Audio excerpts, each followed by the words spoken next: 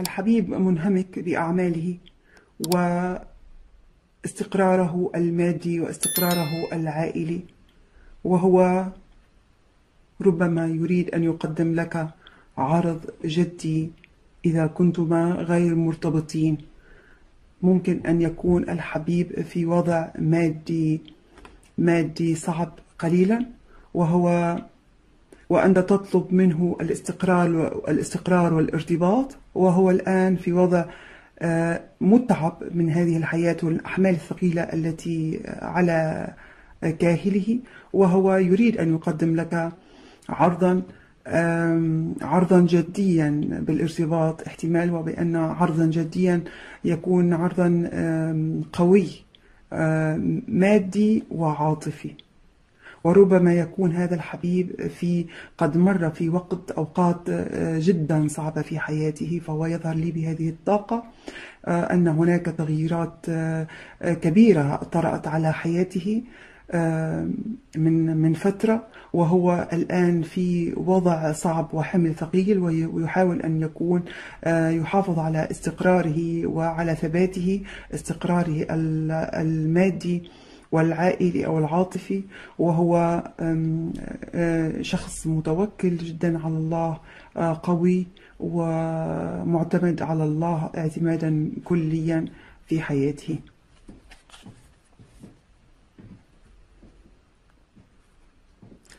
طاقتك لهذه القراءة. أنت هنا.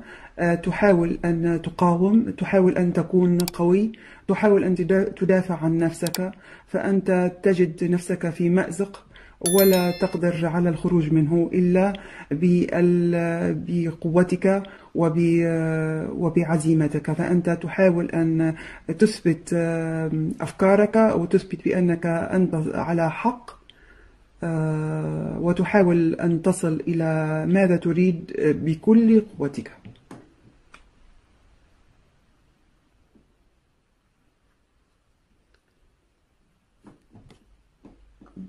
لا أدري ماذا فأنت هنا في الطاقة العامة فيظهر لي بأن طاقتك آه، هناك قد تبعثرت وأنت آه، فقدت الصبر في هذه في الطاقة العامة. هنا تريد أن احتمال أن تكون قراراتك هنا متسرعة وتحاول أن تصل إلى هدفك بأسرع وقت ممكن ولكن هذه الورقة وهذه الورقة تنصحك بأن تتخذ هذه جاءت مقلوبة بأن تفكر جيدا ولا تضع تجعل الغضب وال والفقدان الصبر آه، يحرفك عن الاتجاه الصحيح. تحلى بالصبر وبالهدوء ولا تتسرع. طاقة الحبيب هو في طاقة انتظار وصبر وترقب أيضا. هو آه، يريد أن يكلمك احتمال بأنه يريد أن يكلمك يكلمك. ويقول لك شيئا. احتمال بأن كما قلت هناك طاقتين تظهر لي. احتمال بأنكما آه، على آه، تريدان الارتباط ببعضكما وأنت لنفرض أنك أنت أنثى وأنت تريدي منه أن يتقدم بخطوة باتجاه بخطوة جدية تجاهك ولكنه هو متعب من هذه الحياة جدا وهناك أعباء كبيرة على على عاتقه. وهو الآن ينتظر ويترقب ال ال الوقت المناسب للقدوم إليك لأخذ خطوة جدية.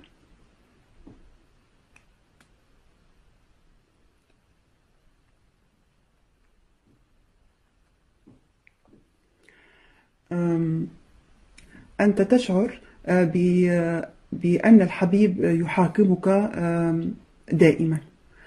آه، يحاسبك على كل أخطائك على الكبيرة والصغيرة. لماذا فعلت هذا؟ لماذا قمت بهذا؟ آه، أنت دائما لا تقدم لي شيء. أنت دائما لا. هو يحاسبك. عفوا سأفتح الباب. عفوا. أعتذر منكم عن الانقطاع. كما قلت أنت آه، ترى الحبيب بأنه يحاكمك على الكبيرة والصغيرة ويضعك دائما في موقف محرج لا تعرف أن تخرج منه أو أنه أو أنك تشعر بأن الحبيب قد قد حصلت له كارما بسبب شيء ما مر له بحياته مر معه في حياته. الحبيب يشعر بأن الأمور بينكما ربما أكثر من احتمال سأعطيكم. يشعر الحبيب بأنه ربما هذا الحب الذي بينكم وهذه العلاقة التي بينكم قد آه، انقطعت وانتهت. أو يشعر بأنك آه، بأن في حياتك أنت قد مررت بتغييرات جذرية كبيرة أثرت على حياتك وأنت الآن في حياة جديدة.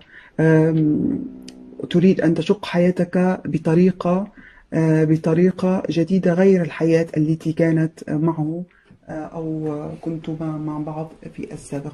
فكما أرى هنا بأنك أنت تح بأن الحبيب كان يحمل يحمل حمل ثقيل وهو وهو قد مر بأشياء صعبة في حياته أو وبفضل قوته هو الآن يحافظ على استقراره المادي والعملي ربما تغير كل شيء في حياتي وأنت تشعر بهذه الطاقة بأن الأمور كل شيء بحياة هذا الشخص قد تغيرت.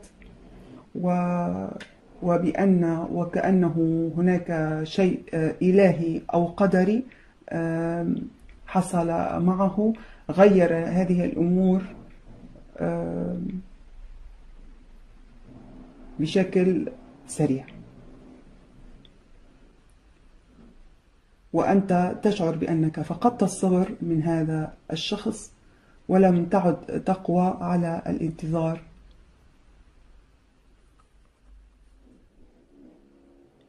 نوايا الحبيب هو ينوي أن ينتظر ويبتعد قليلا وهو ينوي على المراقبة والاحتفاظ بك في قلبه وعقله. هو لا يتركك لا يبتعد عنك عن تفكير لا يبتعد عن التفكير بك. فأنت في قلبه وعقله دائما.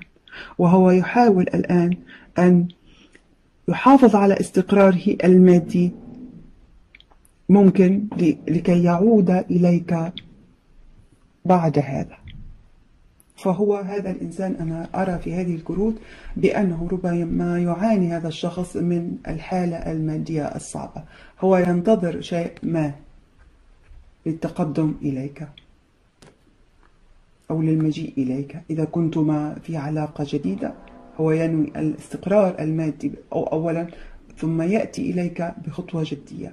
وإذا كنتما في علاقة ومنفصلين هو في وضع صعب. أنت آه، هو يحتفظ بك في عقله وقلبه ومتمسك بك ولكنه لا ينوي على عمل أي شيء غير الانتظار والترقب في هذه الفترة. احتمال بأن هذا الشخص لديه علاقة ثلاثية عنده علاقة ثلاثية. فهو يريد أن يخرج من هذه العلاقة. هو يريد الانتظار قليلا والمحافظة على هدوئه والخروج من هذه العلاقة. ربما يكون عنده عمل كبير ليس بالشرط العلاقة الثلاثية امرأة. ربما يكون لديه عمل كبير وحمل كبير وهو يحاول أن يخرج من هذا الحمل الكبير الذي آه، في حياته ينتظر قليلا لكي يحصل على هذا الاستقرار المادي. نتيجة هذه القراءة نتيجة هذه القراءة كلام واضح وصريح بينكما. سيحصل بينكما في هذه الفترة كلام ومصارحة بشكل واضح وصريح وربما يكون هذا الكلام بينكما قاسم على الطرفين.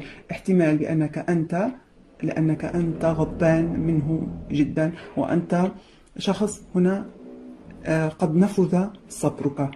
احتمال بأن يكون بينكما كلام ويكون بينكما هذا الكلام جارح وقاسي. نصيحة هذه القراءة تقول لك هذه البطاقة عش حياتك واستمتع بحريتك وحافظ على استقرارك المادي في هذه الفترة وعلى أعمالك وانظر واهتم بأعمالك. فهذا الوقت ليس بالضرورة بأن تكون مع بعضكما البعض.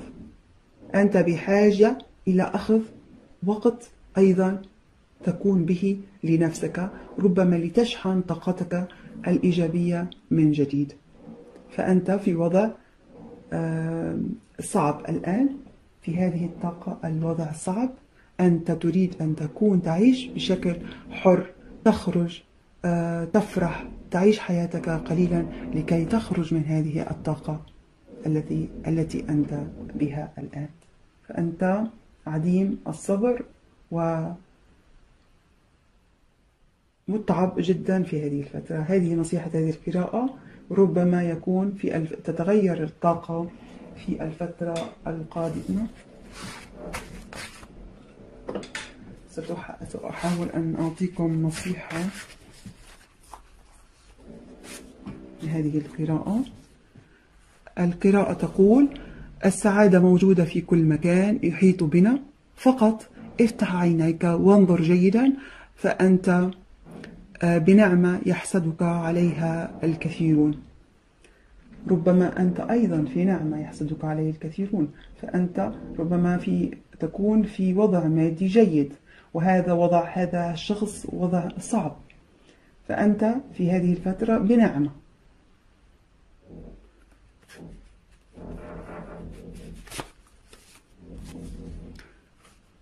راعي مشاعر الآخرين. تقول لك البطاقة راعي مشاعر الآخرين واترك دائما أثرا لكلمة جميلة. هذه تؤكد لي هذه البطاقة. هذا الشخص كلامه صحيح بأنه كلام آه واثق من نفسه وكلام كالسيف كحد السيف يخرج في الوقت المناسب. ولكن أحيانا هذا الشخص يجرح في الكلام. يقول كلام صعب يندم عليه لاحقا. فتقول لك هذه البطاقة راعي مشاعر الآخرين واترك دائما أثرا لكلمة جميلة. تكلم ماذا تريد؟ تكلم مع هذا الشخص ما تريد. وقل له ماذا تطلب. ولكن لا تكون فاقد للصبر وعصبي وحافظ على مشاعر الآخرين. سأأخذ من الرومانس أنجل أيضا هذه البطاقة تقول ربما يكون هذا الشخص هو السولبيد أو الشخص المناسب في حياتك.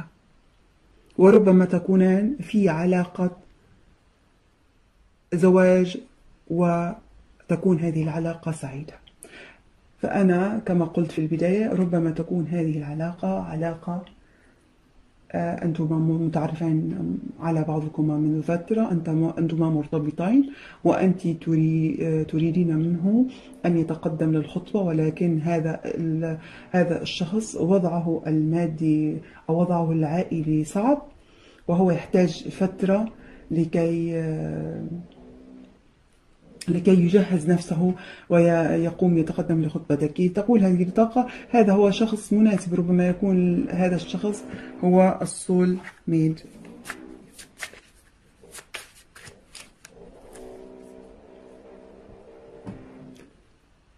هذه البطاقة تقول هذه آه، إذا كانت آه، بينكما أي مشاكل عائلية فستحل. احتمال بأنه يكون بينكما مشاكل من طرف أهل أهلك أو أهله وهذه المشاكل بإذن الله ستحل. شكرا لكم مواليد برج العقرب على هذه المشاهدة وأرجو أن أراكم في فيديو قادم إن شاء الله.